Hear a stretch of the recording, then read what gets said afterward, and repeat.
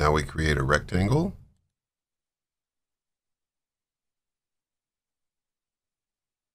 And we're going to go 16 inches wide and 2 inches tall.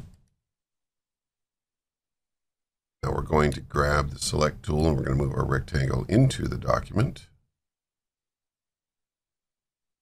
Then we're going to select the text tool. Click right there. Go ahead and type our text.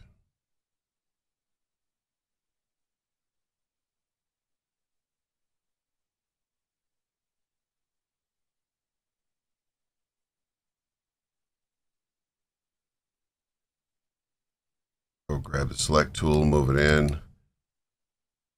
Going to select all the text and come over here to our menu bar where we get to change properties.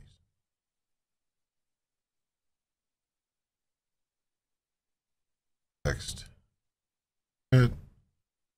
Back and grab solid arrow tool. Crop text onto the line.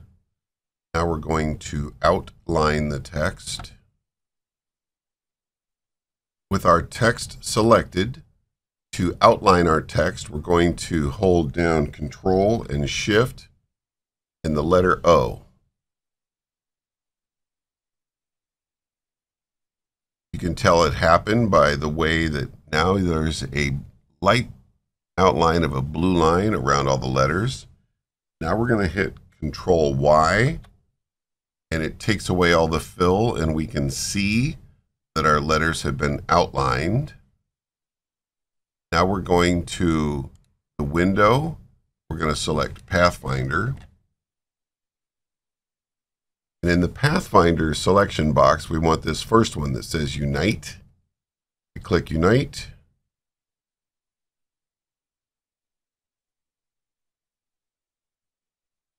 With all of our object selected, we click the Unite button, it does automatic trimming for us.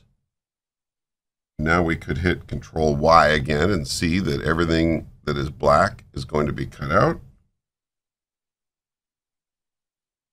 At this point, we want to save it.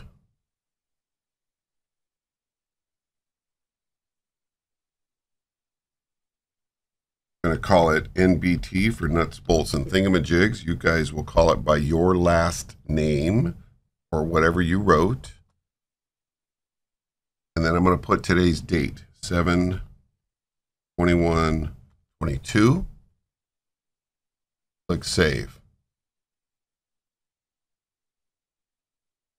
After it's saved, now we want to export as